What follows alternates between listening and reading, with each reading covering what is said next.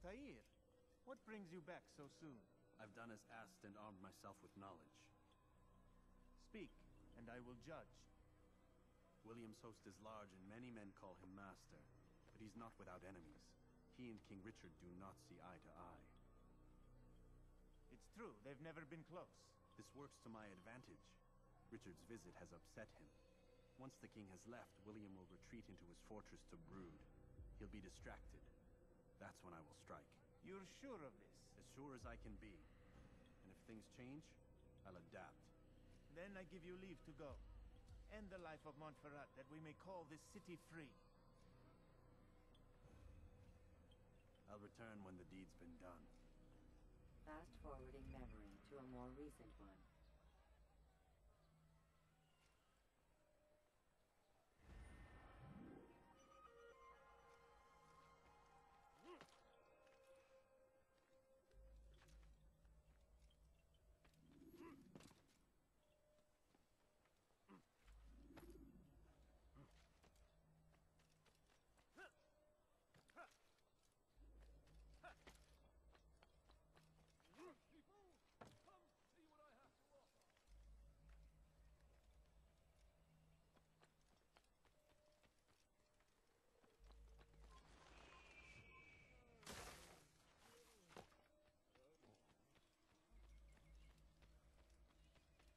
I beg of you. I'll have your hands for that. What have I done wrong? Tell me, please. Anyone help me? You bleed.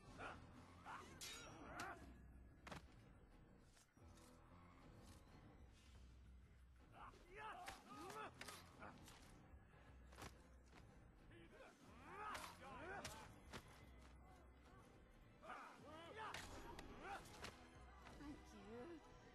They did not say what they wanted from me, but I saw the darkness in their eyes. Sorry, I have nothing to offer in return for your sacrifice, but I shall see to it that my brothers know you are a friend.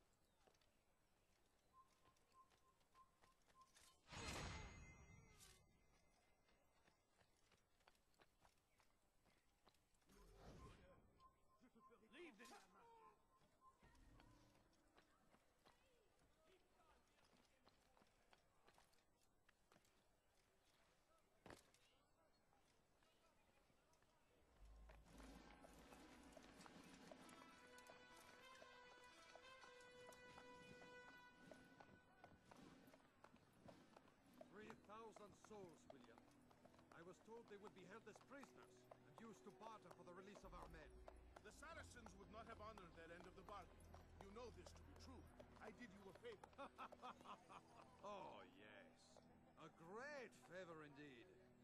Now our enemies will be that much stronger in their convictions. Fight that much harder. I know our enemy well.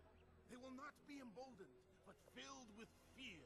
Tell me, how is it you know the intentions of our enemy so well?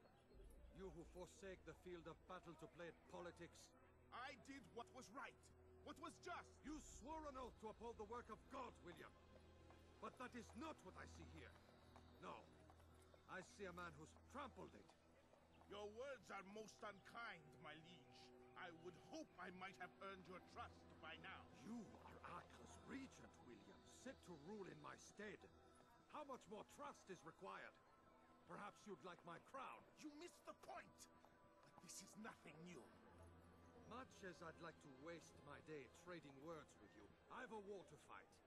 We'll have to continue this another time. Do not let me delay you then, Your Grace.